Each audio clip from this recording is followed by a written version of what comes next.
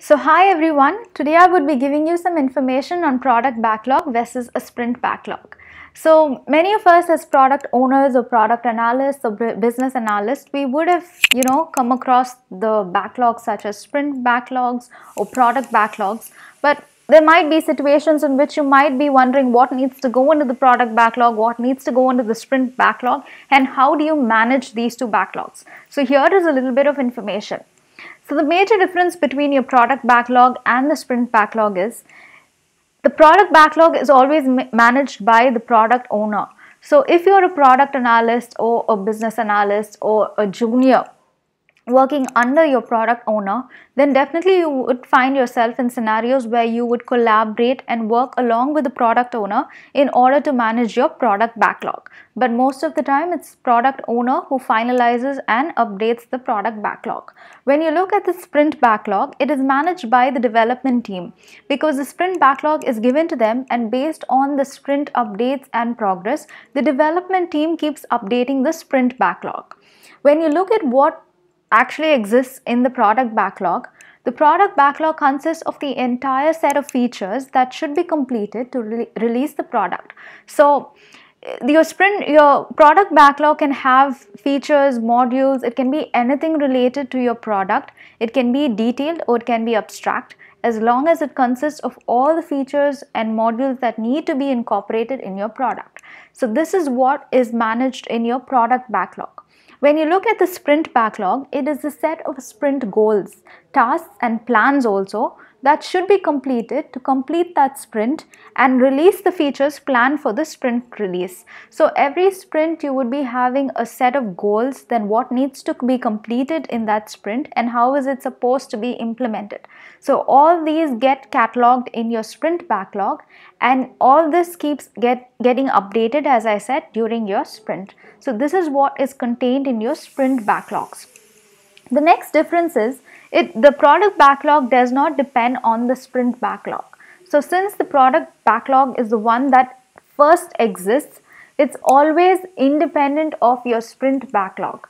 As well as when you look at the sprint backlog, it's considered as a subset of the product backlog and therefore we can say that it is dependent on the product backlog because whatever features or whatever modules or whatever tasks need to be you know completed from your product backlog all that is moved from the product backlog and pushed into your current sprint backlog. So therefore, if there's going to be no product backlog, then a sprint backlog makes no sense.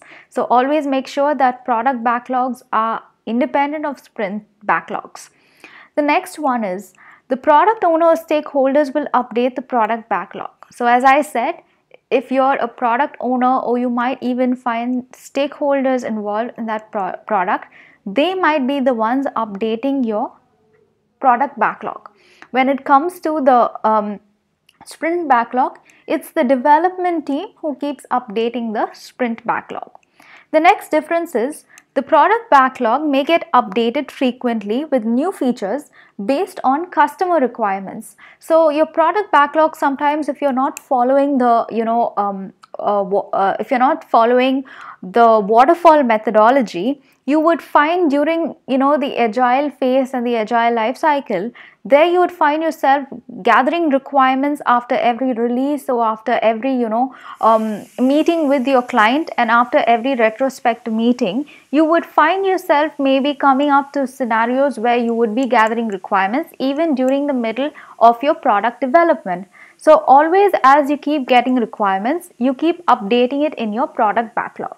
And when, you look at the sprint backlog, the sprint backlog is updated frequently during the sprint based on the development. So in a sprint, you would have your backlog and that gets updated. How does it get updated? It gets updated based on whatever sprint, you know, backlog item is completed, you update the status. Or in case you're not able to, you know, complete a particular item or it's not, you know, feasible during that particular sprint, then again you update it. So all these updates are done only during that particular sprint duration and if your sprint is completed then there won't be any updates done to that backlog.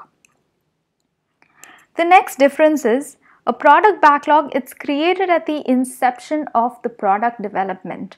So when you want to start you know developing a new product you obviously create a product backlog with all the features of your product in that needs to be implemented when you look at your sprint backlog this is created at the sprint planning phase so only when you keep planning what items can be pushed to your sprint only then you keep adding items to your sprint backlog so this is the difference between the creation time of your product and the sprint backlog.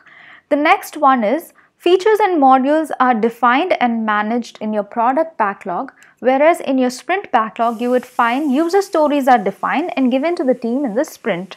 So this is what the sprint and the product backlog contains and gets managed. The next one is features are prioritized based on the business value and customer demand in your product backlog. So in your product backlog, you need to see what features you want to push out and what features need to be developed and what you know need to be pushed out first. So how do you actually prioritize this is based on the business value that the product is going to give. So how do you define the business values through what features actually give a lot of business value or returns back to the business and what features are in high demand by the customer. So based on these different uh, you know parameters and constraints, you define the priority of the features. When you look at your sprint backlog, the user stories are prioritized based on the priority of a you know a user story and also the complexity. So usually whatever you know user stories are able to be you know executed during that sprint, it's prioritized first.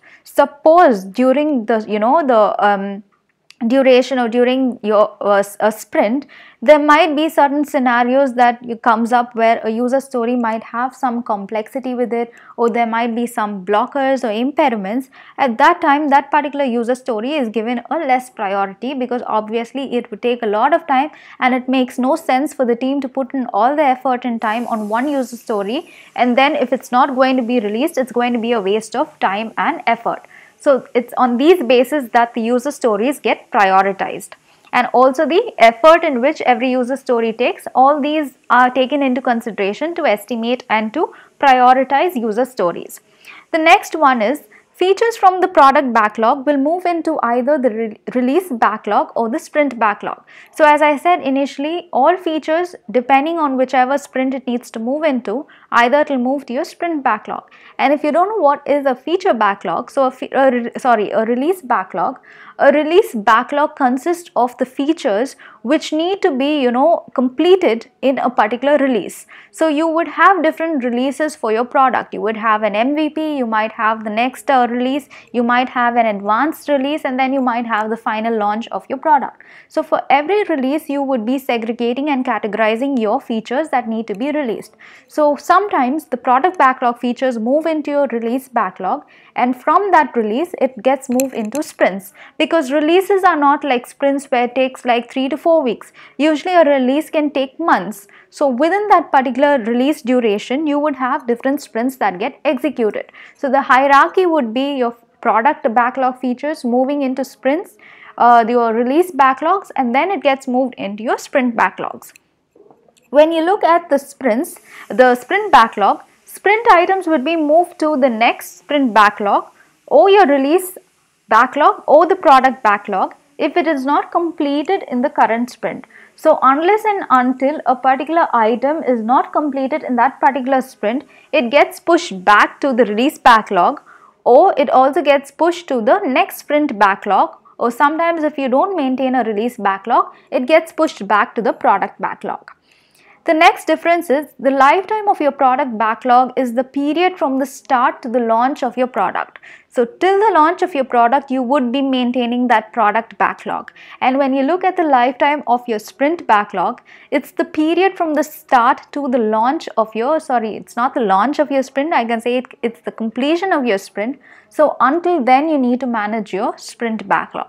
So to give you a very overview, uh, a, a, very uh, you know high level idea, here you would see your product backlog, you have your sprint backlog and you, uh, your release backlog and you have your sprint backlogs. So as I said, features or items get pushed to your from your product backlog to your release backlog. If you maintain a release backlog else it gets pushed to the sprint backlog.